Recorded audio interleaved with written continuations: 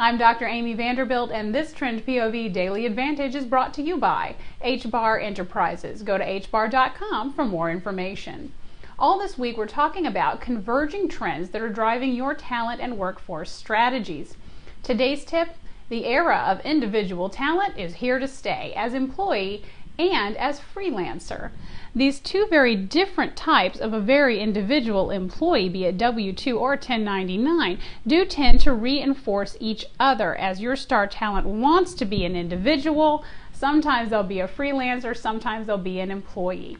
It's important to keep note because this trend is not going away. Keep it right here all week for more tips and ideas on what's driving your talent and workforce strategies. Join us for the show on Friday, and of course, for more daily advantage, bring it right back here to trendpov.com.